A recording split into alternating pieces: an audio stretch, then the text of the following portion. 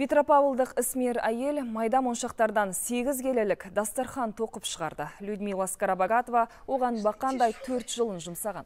Күні түні сарп еткен сағаттардың нәтижесінде осындай қайталанбас суынды жарық көрді. Көздің жауын алатын жабындыға 100 мыңнан астам майда моншақ кеткен. Он саусағынан өнер тамған шебер оны атасынан қалған көне үстелге жайып қойды. Оның бұл ермегін күйеуі мен қызы қолдап көмектескен. Кто-то, занимаясь мелкой работой, начинает нервничать. кейбір адамдардың бұған жүйкесі шыдамайды ал мен одан ләззат аламын.